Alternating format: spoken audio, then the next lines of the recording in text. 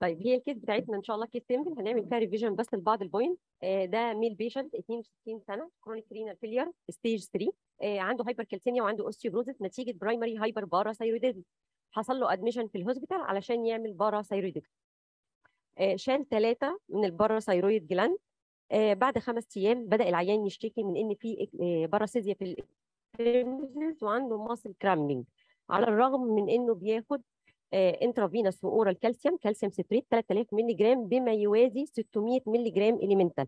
هو ال calcium salt إحنا مش بناخد ال total dose بتاعته إحنا بنحسب قد إيه elemental. 600 دول جم منين؟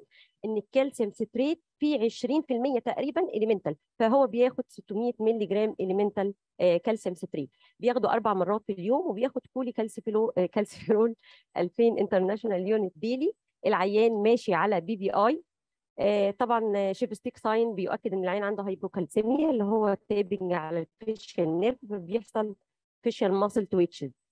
ال lab بتاع العيان دوت الحاجات ال positive اللي فيه إن عنده نقص في الكالسيوم عنده نقص في الفوسفورس عنده نقص في المغنيسيوم وطبعا هو chronic renal failure فال GFR بتاعه 52 هنلاحظ إن ال parathyroid hormone normal وال vitamin D normal على ال low level طيب العيان هنا إحنا قلنا في نقص كالسيوم في نقص فوسفورس في نقص مغنيسيوم. طيب إحنا هنصلح المغنيسيوم. دي أول خطوة هو اداها لنا في العلاج. وبيخيرنا في الخطوة اللي بعد كده. هتكون إيه؟ من التالي. هل إن أنا أزود له ال elemental calcium بدل 600 مللي جرام أربع مرات ل 900 مللي جرام أربع مرات ولا أزود له الكولي كالسيفرول اللي هو already بياخده 2000 international unit ل 4000 اديله intravenous phosphate تمام. ولا أبدأ له oral calcitriol ولا اديله recombinant parathyroid hormone injection حضرتك تحبوا تختاروا دلوقتي؟ ما هو المغنيسيوم كان قليل. طيب هو إيه اللي حصل للعيان دوت؟ العيان حصل له hypocalcemia post operative طيب هو العيان وارد إن يحصل له operative آه. العيان إحنا عندنا parathyroid adenoma عندنا واحدة من ال parathyroid بتبقى بت excess secrete ال parathyroid hormone فبيبدأ الباقي يريح على أساس إن كده كده في parathyroid hormone. طب لما أنا أعملها surgical وأشيل ال thyroid ديت الباقي على ما يفوق من الراحة بتاعته هياخد له تقريبا من 24 ل 48 ساعة maximum أربع أيام. طب لو طولت عن أربع أيام لأ دي اسمها prolonged hypocalcemia طيب العيان بتاعنا إحنا قلنا اشتكى في اليوم الخامس يبقى اذا هو عنده prolonged hypocalcemia. طب إيه أسباب ال prolonged hypocalcemia في عيان عامل total thyroidectomy قال لك والله ممكن يبقى نفس ال physiological cause اللي قلناه في الأول إن ال gland اللي كانت مريحة المفروض إنها normal تاخد لها يومين لحد أربعة بالكتير بس طولت شوية فحصل long لل normal دوت. أو إن أثناء ال surgery حصل injury لل inferior thyroid artery اللي gland أو إنه حصل direct trauma لل parathyroid gland الحقيقة إن الثلاث أسباب دول هم أسباب transient hypocalcemia يعني ال hypocalcemia هتتصلح خلال ست شهور. أو بقى الحاجة الأخيرة إن حصل unintentional إن الجراح شال كل ال thyroid gland بدون قصد. فالعيان هيدخل في permanent hypocalcemia طيب الحالة بتاعتنا عندها hypocalcemia لسبب إيه؟ السبب بتاع ال hypocalcemia عندنا في الحالة دي هو ال hungry bone syndrome يعني إيه hungry bone bone syndrome يعني العيان عنده profound hypocalcemia يعني ال total calcium بتاعه أقل من 8.5 أو ال ionized أقل من 4.5 مللي جرام per dL معاه hypophosphatemia معاه hypomagnesemia اللي هي ال criteria اللي لقيناها في الحالة بتاعتنا. والحاجة دي بتحصل إيه؟ بعد parathyroidectomy أو في بعض الأحيان حتى بتحصل بعد بعد ال total thyroidectomy طيب هو في بس نقطة كده عشان نفهم ال electrolyte اتلخبطت معانا ليه؟ في cycle بتحصل physiological اسمها ال bone remodeling زي ما حضراتكم شايفين المفروض إن أنا عندي ال resting cell أو ال lining cell يبدأ يحصل لها differentiation لل osteoclast ال osteoclast دي مسؤولة عن ال bone resorption المفروض إنها بتقعد أسبوعين. بعد كده يجي ال macrophage يكمل اللي بداوا ال osteoclast وأبدأ مرحلة جديدة اللي هي مرحلة ال bone formation آه ودي يعملها ال osteoblast ال formation أو ال deposition بياخد ثلاث شهور. بعد في نهاية الثلاث شهور تبدأ ال cell آه ال osteoblast يحصل لها differentiation بعض ال cell تبقى osteocyte تزود ال mineralization وبعض ال cell تنقسم تبقى resting cell تعيد ال cycle من الأول. ده ال physiological في ال bone remodeling طيب إحنا لما كان حصل عندنا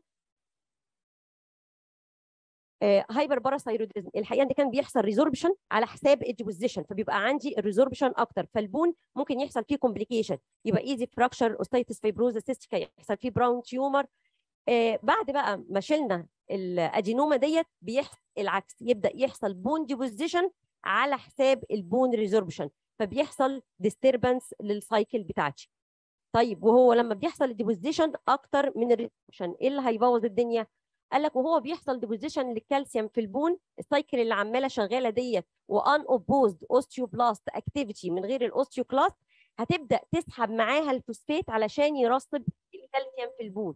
يبقى سبب نقص الفوسفات عندنا إن الكالسيوم اترسب في ال bone نتيجة إن عملية ال mineralization شغالة أكتر من اللازم.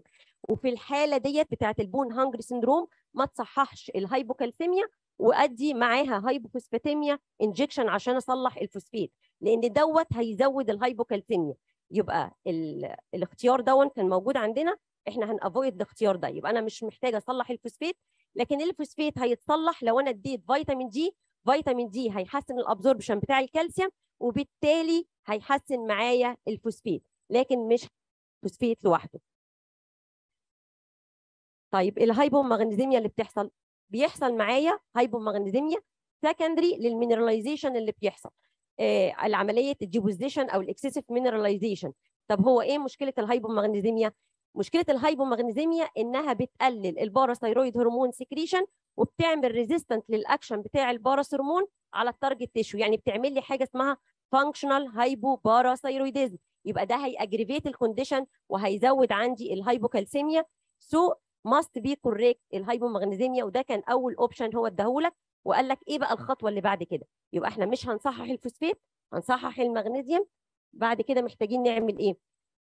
طيب هو أصلا العيان هو كل واحد هيروح يشيل parathyroid أو thyroid هيجي له hungry bone syndrome والله بيبقى فيه risk factor إن العيان يكون old age وإحنا العيان بتاعنا ده 62 سنة.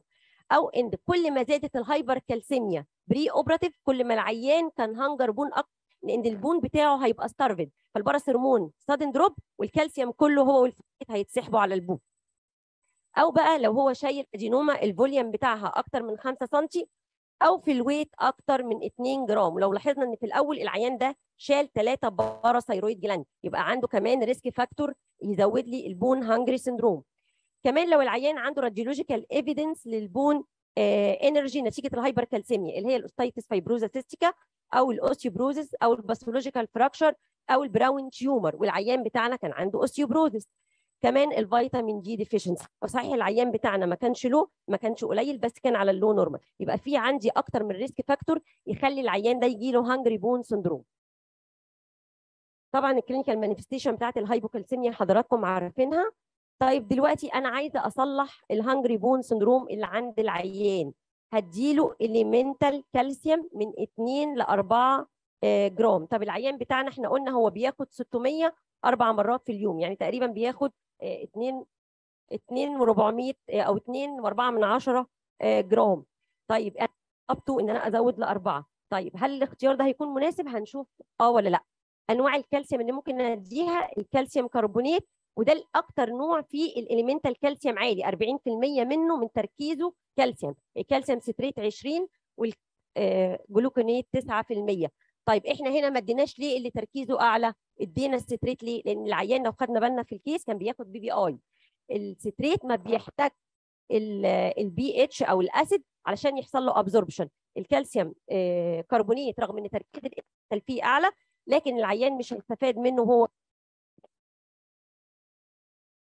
تاني حاجة في العلاج إن أنا هدي كالسيترول اللي هو ال active vitamin D 2 ل 4 مايكرو جرام وهعمل magnesium correction. إذا بعد ما قلنا خطواتنا في ال treatment إيه أفضل نرجع بقى لل case بتاعتنا؟ إيه أفضل اقتراح أو اختيار من حضراتكم من هنا؟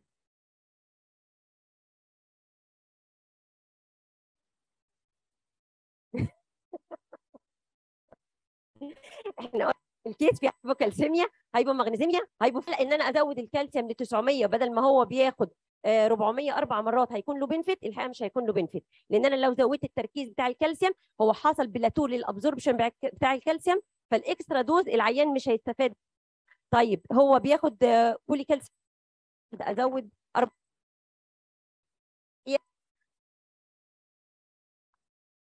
تمام. طيب إيه، يبقى ال intravenous phosphate هينفع؟ إحنا قلنا لأنه هيزود ال hypocalcemia لأنه هياخد الكالسيوم ويدخل العظم. يبقى الاختيار اللي بعده هو ال oral calcitriol ده هيحسن الكالسيوم وهيحسن ال intestinal absorption بتاع الكالسيوم.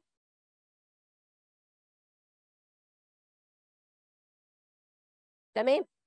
مش هيحصل له activation تمام؟ ده غير مميزات الكالسيترول عنها. ال recombinant parathyroid hormone الحقيقة إن هو ملوش role أصلا في إنه يحسن ال para آه، أو ال hungry bone syndrome. اذا كان الاختيار الأفضل هو إن إحنا ندي ال oral calcitriol therapy. طيب إزاي النقطة الأخيرة بس آه، بدل في risk factor كده إزاي أمنع ال hungry bone syndrome؟ إن أنا ممكن أدي bisphosphonate operative والمدة اللي هديها قد إيه؟ والله دي تختلف الهدف عندي إن أنا أعرف إن العيان استفاد إن أنا أحسن ال alkaline phosphatase level بتاع العيان والبسفوسفونات بيعمل case like كده إن العيان عمل parathyroidectomy فبيقلل ال bone resorption يبقى دي كان إزاي نمنع وإيه طرق العلاج. thank you